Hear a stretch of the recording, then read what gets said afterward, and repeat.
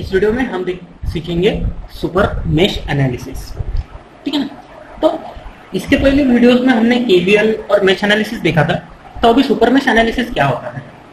ठीक है ना? कोई सर्किट में अगर हमें करंट सोर्स दिया गया है किसी ब्रांच के साथ में, ठीक है ना? किसी ब्रांच में अगर हमें करंट सोर्स दिया है, जैसे देखिए यहाँ पे बी और डी नोड के बीच में यहाँ पे एक करंट सोर्स दिया गया है तो ऐसी कंडीशन जब आती है तो सिंपली केवीएल लगाना या तो फिर मेश एनालिसिस अप्लाई करना थोड़ा मुश्किल हो जाता है।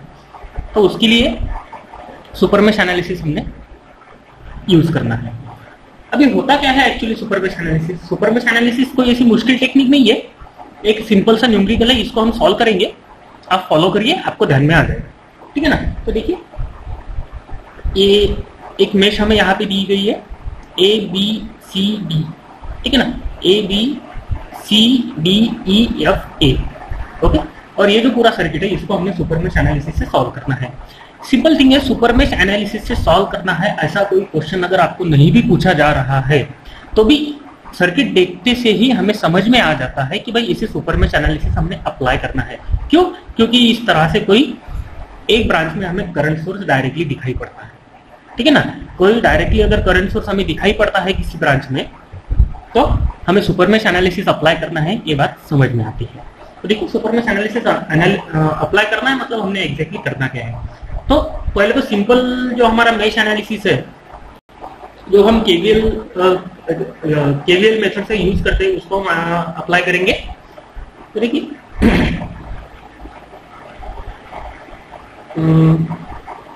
for mesh A B C F A A B C F A ठीक है ना?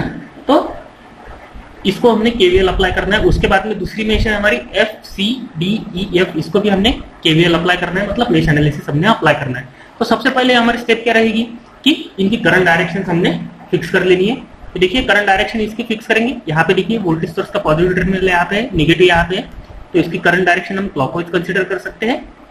नो इशू अगर आपने एंटी क्लॉकवाइज भी कंसिडर किया तो कोई दिक्कत नहीं है। ठीक है? यहाँ पे आ जाते हैं। यहाँ पे अगर करंट डायरेक्शन हम एज्यूम करेंगे तो शायद क्लॉकवाइज एंटी क्लॉकवाइज जो भी करना है, वो आप एज्यूम कर सकते हो। हमने क्लॉकवाइज किया है। हाँ लेकिन यहाँ पे अगर आते हैं इस मेश में, ठीक है ना? तो ऐसी ही करंट डायरेक्शन आप एज्यूम करिए कि जो करंट सोर्स की है, जैसे कि ये एंटी क्लॉकवाइज ठीक है ना? तो एंटी क्लॉकवाइज अगर एज्यूम करोगे तो मैथमेटिकली सॉल्व करने के लिए आपको थोड़ा इजी जाएगा। अभी this is suppose our current I one this is suppose our current I2 and this is suppose our current I3 ठीक है ना? तो ये तीनों हो गए अपने मेश करंट इनका वैल्यू हमने फाइंड आउट करनी है। देखिए किस तरह से रहेंगे सबसे पहले तो हम mesh A B C F A को केवीएल अप्लाई करेंगे। किस तरह से देखिए। सो यहाँ पे कितना वोल्टेज ड्रॉप हुआ है देखिए? One ohm multiplied by I one so one I one okay यहाँ पे आ गए. प्लस वन आई वन यहाँ पे आ गए. देखिए यहाँ पे इस वन ओम रेजिस्टर में से दो करंट फ्लो हो रहा है. एक आई वन ऊपर से आएगा और एक आई थ्री इधर से आएगा. मतलब दोनों की डायरेक्शन कैसी है? रेजिस्टर के अलाउंग सेम है. इसलिए plus one multiplied by I one plus I three okay अभी यहाँ पे आ गए। यहाँ पे आने के बाद देखिए, ये भी रजिस्टर कैसा है? कॉमन है, दोनों मेश के लिए। तो आई वन की डायरेक्शन ऐसी है और आई टू की डायरेक्शन उसके अपोजिट है। ओके और आई वन जो कि हमारा अभी प्रिंसिपल करंट है है ना? आई वन जो कि हमारा अभी प्रिंसिपल करंट है तो हम क्या करेंगे? Plus one ohm multiplied by I one minus I two जो अपोजिट करंट है उसको माइनस कर देंगे इक्वल्स टू ज़ीरो ठीक है ना? सबके सब रेजिस्टेंस आ गए मतलब सबके सब वोल्टेज वैल्यू वहाँ पे हमने ऐड कर दी इक्वल्स टू ज़ीरो इसको अगर सॉल्व करेंगे तो हमें मिलेगा four I one minus I two plus I three equals to zero ठीक है ना? ये इक्वेशन सॉल्व करने के बाद हमें फाइनली ये इक्वेशन मिलेगा। तो this is our suppose equation number one okay इसके बाद में आगे बढ़ते हैं। दूसरी मेश हमारी कौन सी है? देखिए याद है। F C D E F ठीक है ना? एफ़ सी डी एफ़ को हम केवीएल अप्लाई करेंगे। So for which H C D E F okay तो इसके लिए हमने केवीएल अप्लाई करना है। किस तरह से करेंगे? हमारी मेन देखिए यहाँ पे। यहाँ पे सबसे पहला वोल्टेज सोर्स अगर हम कंसिडर करके चलते हैं तो देखिए आई टू यहाँ से निगेटिव टर्मिनल से अंदर जा रहा है। है ना? वोल्टेज सोर्स के निगेटिव टर्मिनल से अंदर जाएगा मतलब वोल्टेज क्या हो रहा है? राइज हो रहा है। वोल्टेज अगर राइज होगा तो हम क्या कंसिडर करेंगे? निगेटिव मतलब माइनस टेन प्लस प्लस क्या रहेगा?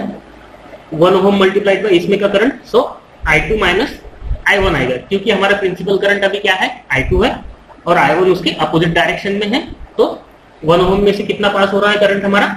I two minus I one so one multiplied by I two minus I one plus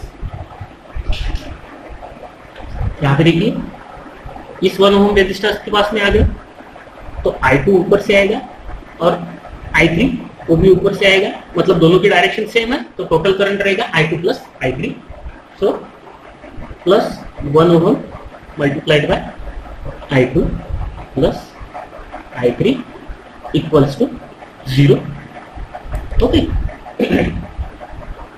अभी इसको अगर सॉल्व करेंगे तो हमें क्या इक्वेशन मिलेगा finally minus I one plus two I two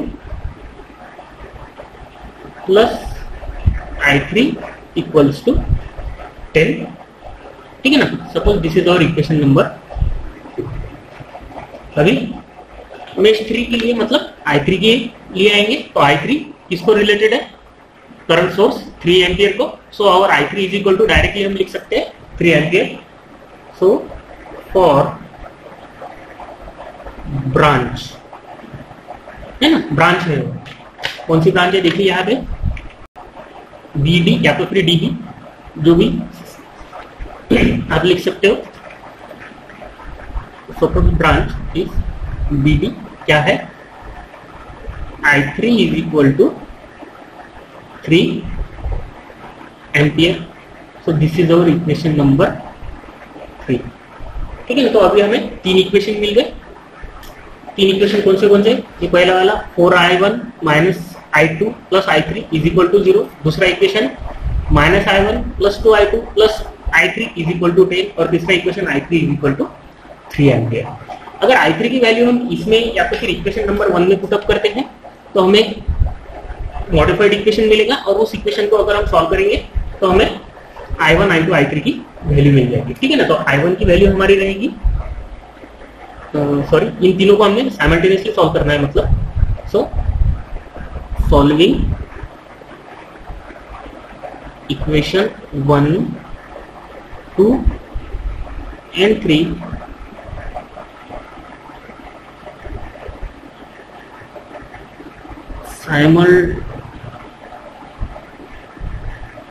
simultaneously आप साइमल्टेनियसली सॉल्व करें, या तो फिर जो क्रैमर सोल्व वाला मेथड मैंने बताया था, इसके पहले की वीडियोस में दिया है तो इसको मतलब तीनों इक्वेशन को आप मैट्रिक्स फॉर्म में कन्वर्ट करके भी इसको सॉल्व कर सकते हो।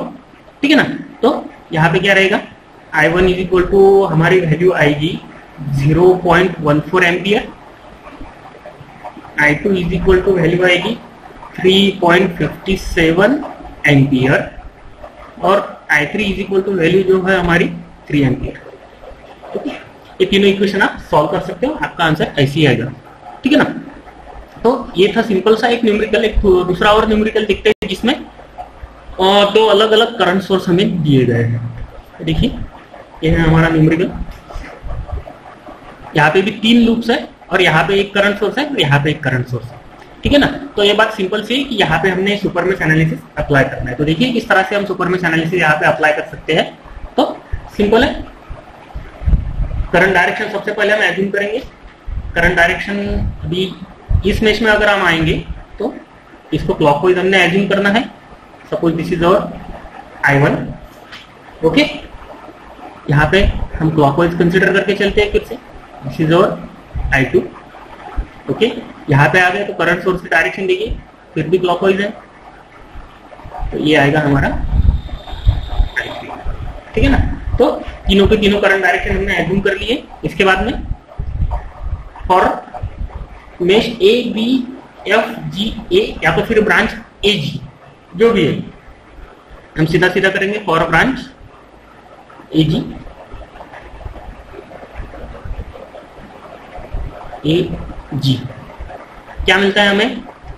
I one is equal to four ampere okay I one is equal to four ampere ठीक ध्यान में रखिए, आप जनरली डायरेक्शन एज्यूम करते हो, आप सोर्स करंट सोर्स के डायरेक्शन से ही एज्यूम करिए। मतलब आपको वैल्यू फाइंड आउट करने में कोई दिक्कत नहीं जाएगी। अगर आप एंटी क्लॉकवाइज डायरेक्शन यहाँ पे फाइंड आउट कर कंसिडर करते थे तो आपका I one is equal to minus four ampere आता था। लेकिन हम ऐसा ऐसा कुछ नहीं करने वाले हैं। जो करंट सोर्स की डायरेक्शन हमें दिखाई दे रही है, उसी हिसाब से हमने मेश की डायरेक्शन भी सॉरी मेश करंट की डायरेक्शन भी एज्यूम करके चलिए। तो हमारा I one is equal to हो गया four ampere suppose this is our equation number one now for mesh B C D H B I two के लिए हम जाएँगे। So for mesh B C D H B okay तो देखिए, क्या रहेगा यहाँ पे? यहाँ से शुरू करते हो तो देखिए, सबसे पहला हमारा रेजिस्टेंस है वन ओम का। तो one ohm multiplied by I two total voltage drop रहेगा one ohm multiplied by I two that is one I two यहाँ पे आ गए। यहाँ पे वोल्टेज ड्रॉप कितना रहेगा? टू ओम मल्टीप्लाइड बाय दोनों भी करंट मतलब आई टू इधर से आएगा और आई थ्री इधर से आएगा। बराबर है? तो दोनों करंट कैसे है? म्यूचुअली अपोजिट है। तो I two minus I three क्योंकि हमारा प्रिंसिपल करंट अभी कौन सा है? आई टू है।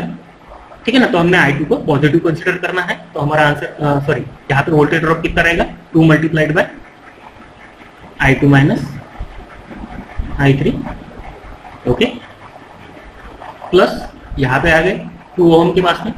यहाँ पे अगर आ गए तो हमारा टोटल वोल्टेज ड्रॉप कितना रहेगा? टू मल्टीप्लाइड बाय अभी देखिए आई to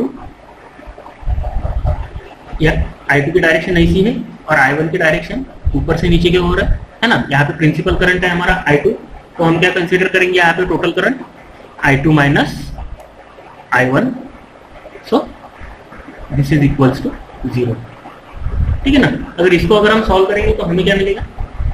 Minus two I one plus five I two minus two I three equals to 0 okay so this is suppose our, our equation number 2 अभी लास्ट लूप के लिए जाएँगे जो कि H D E F H ठीक है ना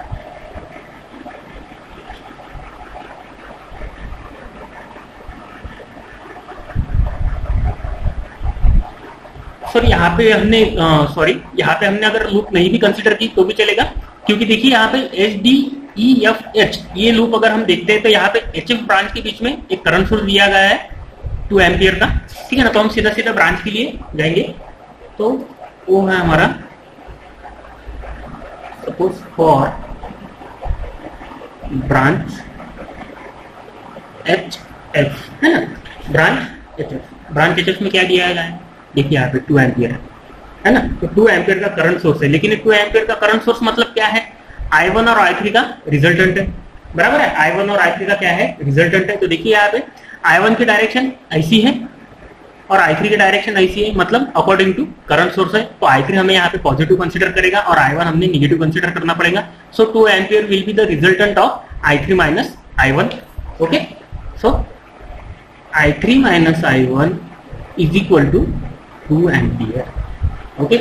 So, this is our equation number 3 देखिए, अपने तीनों इक्वेशन क्या आए हैं? पहला इक्वेशन हमारा था I one is equal to four ampere दूसरा इक्वेशन है हमारा minus two I one plus five I two minus two I three is equal to zero ये हमारा दूसरा इक्वेशन हो गया ओके और तीसरा इक्वेशन है I three minus I one is equal to two ampere तीनों इक्वेशन को अगर हम सॉल्व करेंगे तो हमें वैल्यूज़ मिलेगी। I one is equal to four ampere I two is equal to four ampere and I three is equal to six ठीक है ना तो एक सिंपल सा कंसेप्ट है सुपर मेश एनालिसिस ठीक है ना, जो भी है ब्रांच में आपको डायरेक्टली करंट सोर्स दिया गया है। ठीक है ना तो उसको आपने सीधा सीधा जो करंट सोर्स है, उसको ही कंसिडर करके निकलना है। ओके तो ये था हमारा सुपर मेश एनालिसिस इस वीडियो में सिर्फ़ इतना ही। Thank you very much